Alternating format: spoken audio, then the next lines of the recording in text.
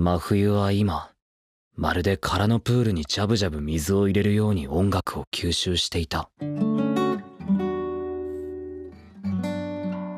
歌詞が書けない。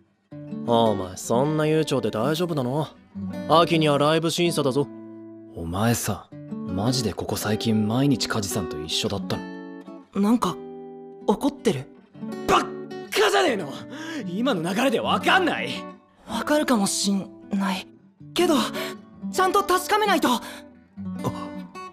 ダメになるから。ああも